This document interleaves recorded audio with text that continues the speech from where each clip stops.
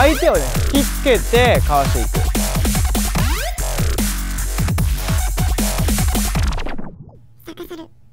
こんにちは伊勢久俊です。今回は相手を引きつけて抜くアトラクトドリブルについてやっていきたいと思います。このドリブルができるようになると、まあ、自陣でねプレッシャーがかかるような状態でもわざと相手を引きつけてかわしていくっていうことができるようになっていきます。で僕はこのドリブルをめちゃくちゃ試合の中ではよく使っているので今回はねそのノウハウを皆さんに伝えていきたいと思います。このチャンネルではフットサルの細かい技術を言語化して分かりやすく伝えているので是非チャンネル登録の方よろしくお願いします。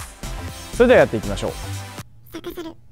今回お伝えするアトラクトドリブルっていうのは、まあ、相手をね引きつけてかわしていく、まあ、アトラクトってまあ引きつけるっていう意味があるんですけど、まあ、そのね相手を引きつけてからかわしていくっていうような形になります。これはいろんな場面で使えるんですけど結構相手がやっぱり食いついてくる時ボールを奪いたいっていうような心理状態の時にめちゃくちゃ効果的です。まあ、なんでかって言ったら、まあ、引きつけようとしなくても勝手に相手から来てくれるんでその重心の流れを使ってかわしていくってことができるようになります。どんなドリブルかっていうとここからきつけてかわしていく。後ろに下がってから前に出る。っていうような形です。このドリブルは本当にいろんなテクニックが詰まってるんですけど要は一番大事なのは相手の重心をしっかりと自分がコントロールしていくっていうことが大事になってきます。まあ、そういったね意識でやっていくと相手のプレッシャーが怖くなくなったりとか、まあ、逆に、え自分でねコントロールできてるっていうような心理状態でプレーができることで、まあ、余裕が出てボールタッチのミスっていうのも減っていくので、ままずはねそこのマインドっていうのをしっかりとセットしてもらえたらと思います。なのでまあこのねアトラクトドリブルをする時っていうのはしっかりと相手の重心の流れをしっかりと読んでいく。これがまず一番最初に大事なポイントになってきます。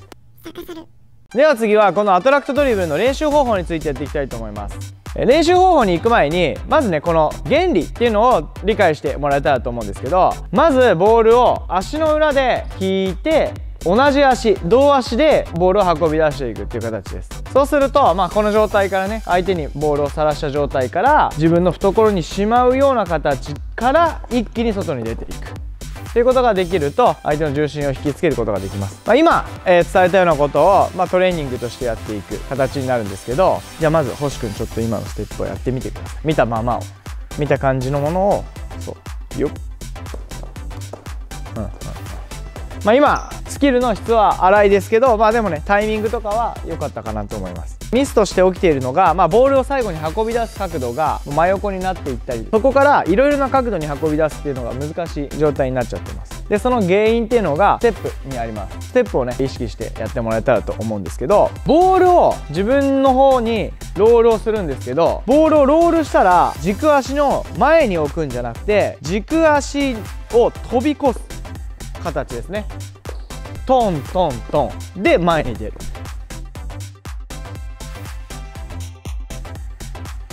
これが手前についちゃうと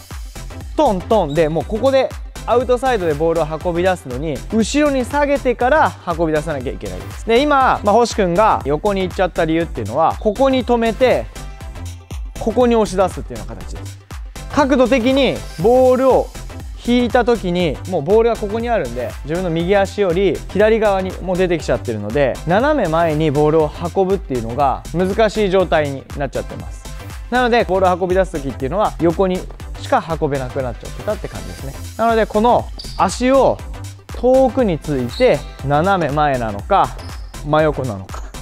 っていうような選択肢ができるような形でこのステップを踏んでいくと相手のプレッシャーが激しかったら斜め前じゃなくて横に出るっていうような選択肢を自分でね選んでいくっていうことができるようになっていきます。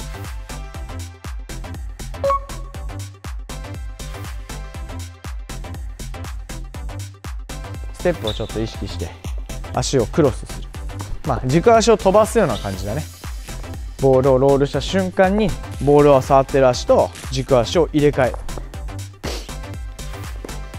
そうそうそうそうそう。そうボールなしでやってみようか。ボールなしで、まあ、足を浮かした状態から軸足と右足を入れ替え。るここからトントン。足をクロスして前に出る最初のこの一歩目をしっかりと遠くについてグッてそうするとモーションが小さくて相手にバレずにボールを運び出したりとかっていうのができる。そうそうそう。はいじゃあボールをつけてやってみてください。そうそうそうそうそうそう。まあ、今みたいな形で、え、コンパクトスタンスを取ってスタートできるような形になるとアトラクトドリブルっていうのがうまく使えていくのかなと思います。まあ、というような形で、まあ、これ練習をする時っていうのはボールに意識をとらわれるんじゃなくてしっかりと自分のステップボールを転がした後にどこに足をついているのかっていうところを意識してやっていくとドリブルっていうのが身についていくと思うので、まあ、ぜひねそんなステップをね意識してやってみてください。では次はこのアトラクトドリブルを実践で使っていくためのポイントっていうのをお伝えしていきたいと思います実践で使っていく時っていうのはまあねこれ1回で抜ける時っていうのももちろんあるんですけど来た瞬間にトーンってこれでかわせる時っていうのもあるんですけど結構ね流れの中で、まあ、2回3回やってかわしていくっていう時が多いです。相手の重心が最初はねあまり動いてない時があってボールを引きつけるここでかわしに行こうとするとついてこられちゃう時っていうのも結構あるんですよ。なので1回目は探りのパターンとしてもここから123っていうような形でかわしていく。なのでまあね実践の中では1回目でかわしていくっていうよりもまあ2回3回っていうところを意識してやっていくといいかなと思います。なので練習方法でも伝えた通り斜めに運ぶパターンと横に運ぶパターンっていうのを、えまず、ね、できるようになっていくとそこの選択肢が広がるかなと思います。であともう一つはここでこのアタックドリブルをね読んでくるパターンっていうのがあるんですけどここでトーントーントーンってなった時にこの瞬間にまあ今ね先読みして体がね今もうバレてる状態です。なのでこの時っていうのはボールをここで運び出さずにジャブステップを踏んであげると一気にね間合いを作ってプレーをしていくっていうこともできたりします。なのでこのアトラクトドリブルと掛け合わせてこのジャブステップっていうのも使っていけるともうこれを読まれた時っていうのは効果的に相手のプレスを回避していくことができるので、まあ、ぜひねそんなところを意識してこのアトラクトドリブルを実践の中で使ってみてください。この動画とは別に YouTube では配信していない動画をプレゼントしています。詳しくは概要欄をご覧ください。この動画が役に立ったと思ったらいいねボタンとチャンネル登録の方よろしくお願いします。それではまた。